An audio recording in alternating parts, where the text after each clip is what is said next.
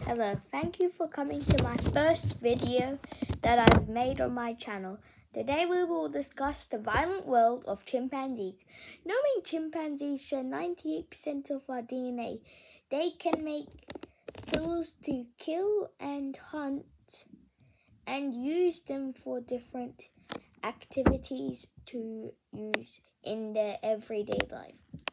Chimpanzees have recently been found stealing and eating children in Uganda. This is because they look like colobus monkeys.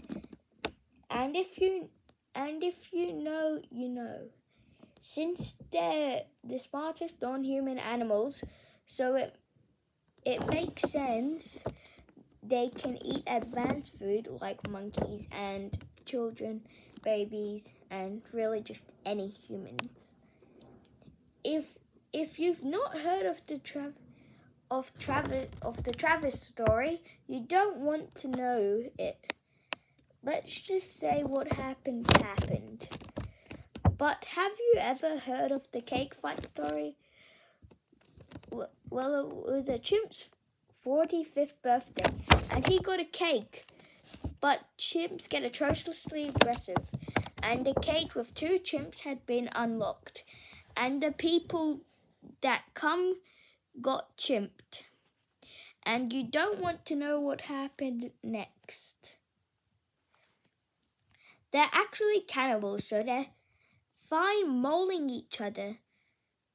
Once there was a case where a lone chimp was ambushed by an entire group and the lone chimp was ended by getting mauled. And you do not want to know how he got mauled.